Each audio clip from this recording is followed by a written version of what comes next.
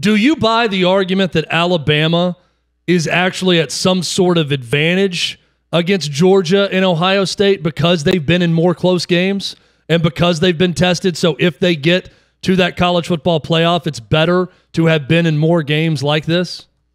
Yeah, it's it's always an interesting question to ask of, of blowing out teams. Does that eventually come back to bite you? Because you don't condition yourself like physically, mentally, emotionally for four quarter football games.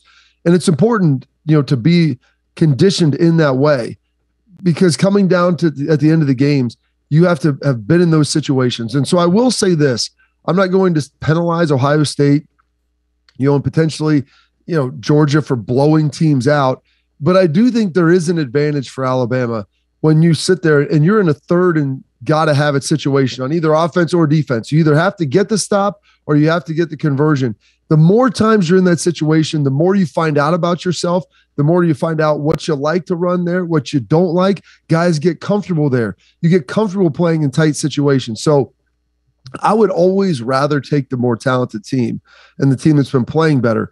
But I, I'm not going to completely discredit that because I played on a team in Ohio State in 2002. You know, we were not the most talented team in the world. We played a ton of close games, and I think that that set us up. When we played Miami in the in the Fiesta Bowl for the national championship, like you're used to being there. You're used to being in those situations, so nobody's nervous. And the thing is, when you're not, when you're in a position that you don't expect to be, sometimes people panic.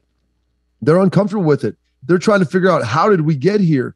And this is it's an old you know adage from survivalism. You know, when you get people don't die, you know, because because you know of starvation, they die because they they forget to think. They start focusing on why they got there or how they got there instead of how to get your way out of it.